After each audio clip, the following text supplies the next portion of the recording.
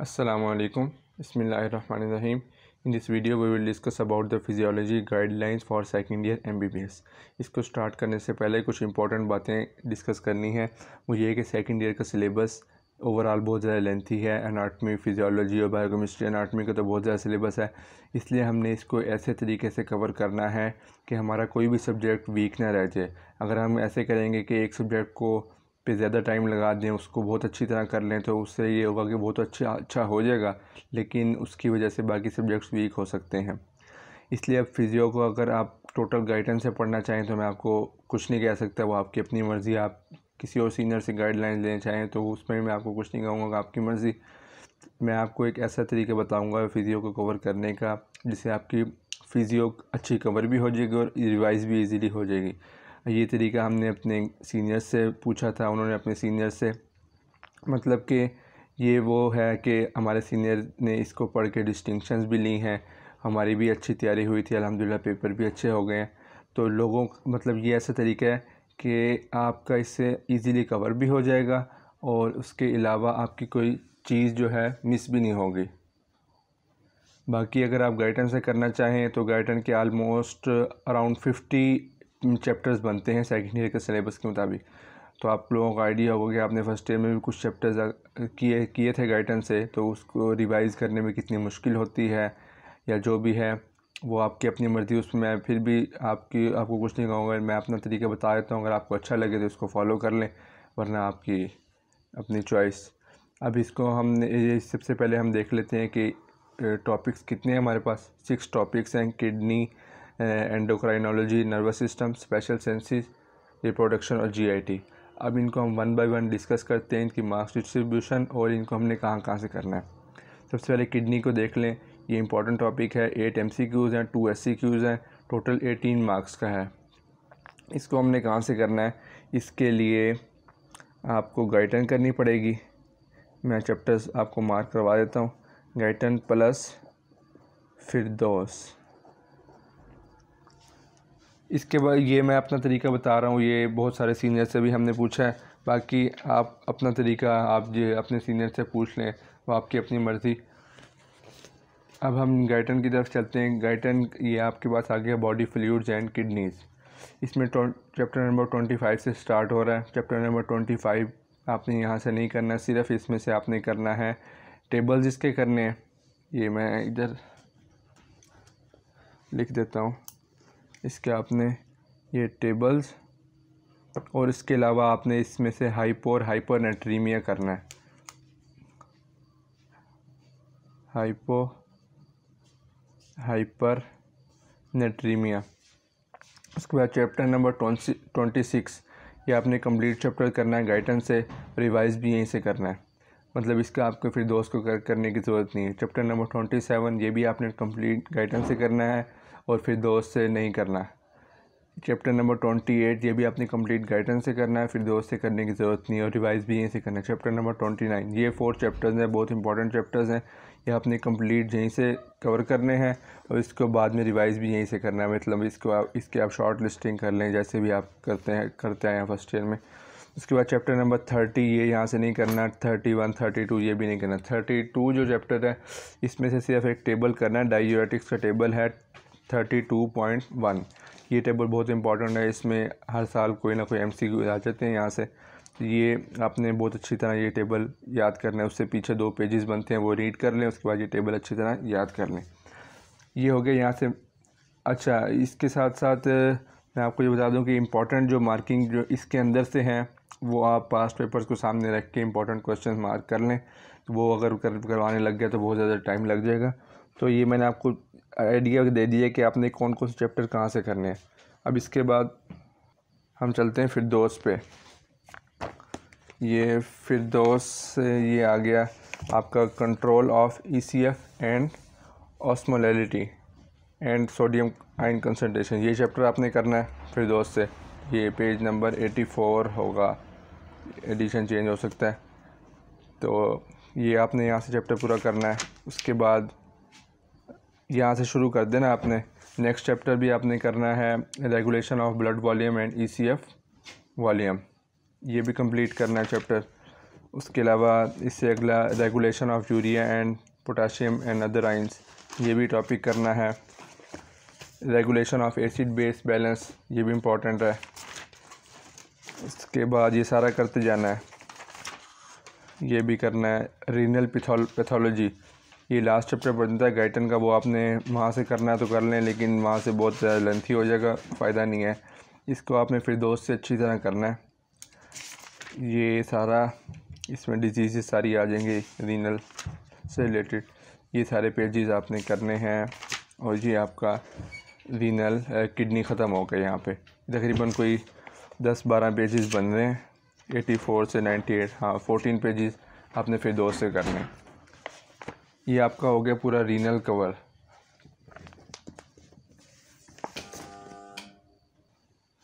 इसके बाद हम चलते हैं एंडोक्राइनोलॉजी पे। ये आपको इम्पोर्टेंट टॉपिक है, क्योंकि आपने यहाँ से ही एक दफ़ा करना है, और इसके साथ साथ आपका बायोकेमिस्ट्री वाला एंडोक्राइनोलॉजी भी कवर हो जाएगा, इसलिए आपने अच्छी तरह करना है। इसमें eight M C Qs two S C Qs eighteen marks का है, और इसी तरह बायो कैम में भी अच्छे खासे इसके नंबर हैं आलमोस्ट टेन मार्क्स का है। और जब हम बायोग्राम की गाइडलाइंस डिस्कस करेंगे तो तब मैं आपको बता दूँगा। एंडो आपने कहाँ से करना है ये भी? गाइटन प्लस फिरदोस इसका हम चलते हैं एंडोक्राइनोलॉजी को डिस्कस करते हैं। ये आ गई हमारे पास Guyton endocrinology and reproduction reproduction को भी छोड़ दें एंडोक्राइनोलॉजी पे आते हैं। इसके chapter number seventy five complete करना है सेवेंटी सिक्स कंप्लीट करना है गाइडेंस से। रिवाइज भी यहीं से करना है, इसकी शॉर्ट लिस्टिंग आप साथ साथ कर लें। Seventy seven seventy eight seventy nine ये पाँच चैप्टर्स जो हैं, ये आपने बहुत अच्छी तरह गाइडेंस से करने, इस एंगल से करने की आपकी बायोकेमिस्ट्री भी यहीं से कवर होगी। उसके बाद चैप्टर नंबर एटी जो है, ये आपने करना है, फिर दोस्त से। ये आपको गाइडेंस से करने की ज़रूरत नहीं, ये आपका एंडो पूरा हो गया। इसको फिर दोस्त से देख लेते फिर दोस्त से इसमें से आपने ये page number two double three पे दिया हुआ है पिचूट्री डायबिटीज़ ये करनी है, उसके बाद आपने डेफिनेशन इसकी डेफिनेशन वगैरह दी हुई है, और इसके बाद एल्डोस्टिरोन एस्केप ये यहाँ से page number two four two पे एल्डोस्टिरोन एस्केप करना है। उसके बाद आप आ जाए ये चैप्टर नंबर जो मैंने एटी यहाँ से छुड़वाया है, वो आपने यहाँ से पैराथोराइड हार्मोन एंड कैल्सिटोनिन ये यहाँ से करना है। ये आपका ये दो, तीन पेजेस बन रहे हैं। ये आपकी होगी एंडोक्राइनोलॉजी पूरी। ये दो मेजर टॉपिक्स मैंने आपके करवा दिए हैं रीनल किडनी और एंडो इनके साथ साथ मैं आपको लेक्चर्स का भी बता देता हूँ। किडनी की आप सुन सकते हैं। डॉक्टर नजीब के लेक्चर्स अच्छे हैं। डॉक्टर नजीब ये सुन सकते हैं कुछ इंपॉर्टेंट टॉपिक्स के तो सुन लें वर, वरना आप यूट्यूब से कोई भी लेक्चर सुन के अपने कंसेप्ट अपने सारे क्लियर रख लें एंडोक्राइनोलॉजी में भी आपको गाइडन पढ़ के कंसेप्ट अच्छे क्लियर हो जाते हैं वरना अगर आप सुनना चाहें तो कोई भी सुन सकते हैं। इसमें आपकी अपनी चॉइस है। अब नर्वस सिस्टम में आ जाते हैं। नर्वस सिस्टम वैसे ही अगर आप गाइडन से करने लगे तो बहुत ज़्यादा लेंथी है। तो इसलिए मैं तो आपको गाइडन रिकमेंड नहीं करूँगा। उसके लिए आपको ऐसे तरीका बताता हूँ कि आपका इजीली कवर भी हो जाए और आपकी कोई चीज़ मिस भी ना हो। इसके लिए हम चलते हैं। दो शॉर्ट बुक्स मैंने आपको बुक्स की गाइडलाइन में बताई थी, एक राशिद और एक फैमिली अब राशिद, आप चाहें तो बुक ख़रीद लें, क्यों या आप इसका पीडीएफ ले लें। इसके, इसमें आपने कुछ थोड़े से पेजेस करने।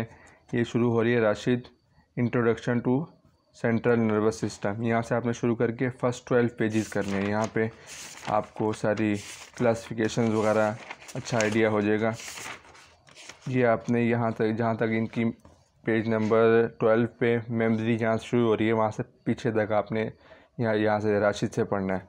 उसके अलावा राशिद से एक और चीज़ जो करनी है, वो आपने करनी है बेजल गेंगलिया बेजल न्यूक्लिया कह लें या बेजल गेंगलिया ये पेज नंबर सिक्सटी फाइव पे दिए हुए हैं। ये आपने तकरीबन ये यहाँ से बेजल न्यूक्लियर भी करने और इनके साथ क्लिनिकल कोरिलेशन भी करने हैं। ये आपके कोई फोर, फाइव पेजेस बन रहे हैं। आपने सिर्फ़ राशि से इतना करना है। बाकी अब हम चलते हैं एक और बुक, जो फैमरिक। ये फैमरिक आपने शुरू करनी, शुरू शुरू से नहीं करनी। ये आपने जहाँ तक राशिद कर ली थी, उससे आगे से शुरू करनी है। ये मेमोरी भी आपने राशिद ख़त्म की थी। तो मेमोरी से ही फैब्रिक स्टार्ट करनी है। और यहाँ से आपने करते जाना है, ये सारा कुछ करना है। सारा कुछ करने के बाद जब आके ये बहुत इंपॉर्टेंट है, यहाँ से आपको पढ़ के साथ साथ अच्छा क्लियर भी होता है कंसेप्ट भी बनते जाएँगे। और इसके अलावा आपको याद भी होता जाएगा। इसको मैं एक, आपको रिकमेंड करूँगा कि ये आप जब कर लें न्यूरोनाटमी कर लें, उसके बाद ये आप पढ़ें। क्योंकि न्यूरो एनाटमी में आप आपको बताऊँगा साथ साथ डॉक्टर नजीब के लेक्चर्स भी सुनने आपने। वो इम्पोर्टेंट लेक्चर्स बता दूँगा। न्यूरो एनाटमी करने के बाद आप ये करेंगे तो आपको अच्छी तरह ये समझ भी आएगी और सही मेमोराइज हो जाएगा। अब इसमें ये पेज नंबर सिक्सटी नाइन पे डी सेरिब्रेट रिजिडिटी है। इसकी सब आपने डेफिनेशन करनी है और फीचर्स ये नहीं करने और इसके अलावा फैक्टर्स भी नहीं करने। थैलामिक एनिमल भी नहीं करना मिड ब्रेन भी नहीं मिड मिड ब्रेन एनिमल और role of various parts of brain Indus ये सारी चीज़ें आपने नहीं करनी। पोस्टर रिफ्लेक्सेस नहीं करने टाइप्स ऑफ़ पोस्टर रिफ्लेक्सेस नहीं करनी, बाकी बाकी सारा कुछ करना है। ये बहुत इंपॉर्टेंट चीज़ें हैं एपिलिप्सी वगैरह। इंपॉर्टेंट मार्किंग्स आपने वही पास पेपर्स को देख के करनी है। स्लीप ये स्लीप अगर आप गाइडेंस से पढ़ना चाहें तो पढ़ लें वरना यहाँ से भी गुजारा हो जाता है। ये सारा अच्छा इसके बाद एक चीज़ ये कि ये इसकी वेव्स दी हुई हैं ये यहाँ पे उल, उल्टी दी हुई है ये अपने गाइडेंस से देख लेनी है। उसके बाद ये आगे सारा कुछ करते जाना है। सारा कुछ करने के बाद ये आपने इम्यूनिटी जहाँ पे शुरू हो रही है उससे पहले तक आपने सारा कर लेना है यहाँ तक। ये आपका C N S complete cover हो गया। इम्यूनिटी ये नहीं करना, ये आपने फ़र्स्ट ईयर में कर लिया है। ये हो गई आपकी नर्वस सिस्टम की गाइडलाइन इसको हम लिख लेते हैं Rashid plus फेमोरिक plus doctor Najeeb. Doctor Najeeb के जो मैं लेक्चर्स बता देता हूँ, आप सुन लें कौन कौन से करने हैं। इसमें आपने असेंडिंग ट्रैक्स करने हैं डिसेंडिंग ट्रैक्स करने ट्रैक्स करने हैं और इसके अलावा बेजल न्यूक्लियाई कर लेने हैं आपने थैलमस कर लेना है। कि सारे आप न्यूरोनाटमी में आपको साथ साथ वैसे वहाँ पे लिख के भी बता दूँगा। तो उसके अलावा अगर यूट्यूब से कोई लेक्चर्स अच्छे मिल रहे हैं तो वहाँ से कर लें। तो बहुत, जो भी आपने टॉपिक पढ़ना है, अच्छी तरह समझ के पढ़ना है और उसके लेक्चर सुनने हैं कोई टॉपिक समझ नहीं आया, उसके लेक्चर सुनने हैं और उसको अच्छी तरह कंसेप्ट डिवेलप करने। हैं और जितना लिखा हुआ है राशिद और फैमिली में, इतना ही अगर आप याद कर लें तो आपके लिए मोर देन इनफ है। अच्छी आपकी तैयारी भी हो जाएगी। इसके साथ अगर आपको लगता है कि गाइडर नहीं पढ़ रहे तो हमारे कंसेप्ट नहीं बन रहे तो आप इसमें आप ऐड कर सकते हैं plus mini Guyton mini Guyton से आप हल्का फुल्का कंसेप्ट ले लें। बाकी मैं तो यही कहूँगा कि ये दोनों आपके लिए काफ़ी हो जाएँगे। बाकी आप गाइटन पढ़ना चाहें तो आपकी मर्ज़ी। अब इसके बाद चलते हैं स्पेशल सेंसिस स्पेशल सेंसिस जो है, ये सिक्स एम सी क्यूज़ हैं, इसमें से एक S C Q total eleven marks का टॉपिक है। ये आपने करना है फिर दोस्त से। फिर दोस्त प्लस लेक्चर्स लेक्चर्स आप डॉक्टर नजीब के सुन सकते हैं तो सुन लें काफ़ी लेंथी हैं वरना आप यूट्यूब से भी कोई लेक्चर ले, इसमें अरमांडो के लेक्चर्स अच्छे हैं। अरमांडो उसका पूरा नाम मुझे नहीं पता। अरमांडो एच से आगे कुछ बनता है। और इसके अलावा डॉक्टर नजीब ये बहुत लेंथी हो जाएगा। तो इसलिए आप अगर इसके कर लें तो ये अच्छा अच्छा रह जाएगा। स्पेशल सेंसिस को एक दफ़ा फिर दो से देख लेते हैं कि आप इम्पोर्टेंट है ये सारा करना है आपने रेटिना वगैरह सारा कुछ करना है। उसके बाद मतलब आई से रिलेटेड वी एम सारी कर ली हेयरिंग भी इम्पोर्टेंट है, ये भी आपने सारी करनी है। उसके बाद वेस्टिबुलर ऑपरेटर्स ये आप रीड कर लें, ये वाइवा में पूछा जा सकता है।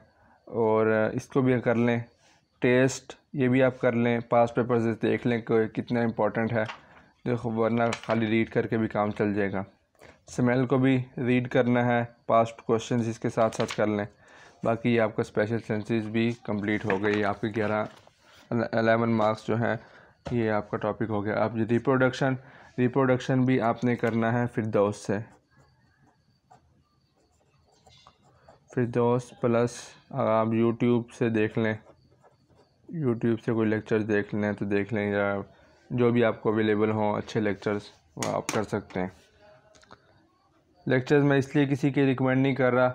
हर किसी का अपना माइंड होता है, वो कि कोई शॉर्ट लेक्चर सुनने का किसी को आदत होती है, किसी को लॉन्ग तो आपको जो भी अगर आप फ़र्स्ट ईयर में डॉक्टर नजीब सुनते आए हैं तो आप सेकेंड ईयर में डॉक्टर नजीब सुने, अच्छी बात है। वरना आप यूट्यूब से कोई भी लेक्चर्स देख सकते हैं। इसमें आलमोस्ट सारा ही करना है, इसलिए मैं आपको फिर दोस्त दिखा नहीं रहा। इसमें फिर दोस्त में आखिरी टॉपिक होगा न्योनेटल फिजियोलॉजी वो सिर्फ़ आपने नहीं करना है, उसको क्रॉस कर लें। इसके बाद लास्ट टॉपिक बचता है हमारे पास जीआईटी का। जीआईटी में से फाइव एमसीक्यूज़ हैं वन एससीक्यू है टोटल इसके मार्क्स बन जाते हैं टेन ये भी आपने करना है फिर दोस्त से।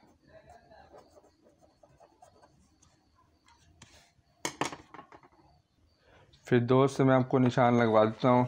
आपने पहला चैप्टर इसका पूरा करना है। उसके बाद ये टेबल इम्पोर्टेंट है, ये टेबल कर लें। ये सेकंड भी transport and mixing of food ये भी करना है। और उसके अलावा आगे आते जाए। सेक्रेटरी फ़ंक्शन ऑफ़ जीआईटी ये आप सिर्फ़ रीड कर लें, इतना इम्पोर्टेंट नहीं है। अगर आप छोड़ना चाहें तो छोड़ भी सकते हैं इसको, वरना अगर टाइम है तो रीड कर लें। क्योंकि ये टॉपिक जो मैं यहाँ से छुड़वाऊँगा, ये आपके बायो कैम में कवर हो जाएँगे। बायो कैम जब आप पढ़ेंगे ना तो वहाँ से इसके ये चीज़ें कवर हो जाएँगी।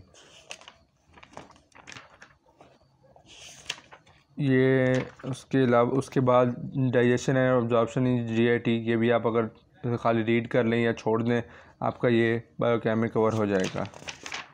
ये ना हो कि बायोकैम में भी छोड़ दें, यहाँ भी छोड़ दें, लेकिन कहीं कहीं ना कहीं से एक जगह से करना ज़रूरी है। उसके बाद जी आई टी डिसऑर्डर्स ये इंपॉर्टेंट है, ये आपने अच्छी तरह यहीं से करना है। बस ये आपकी जी आई टी भी पूरी हो गई।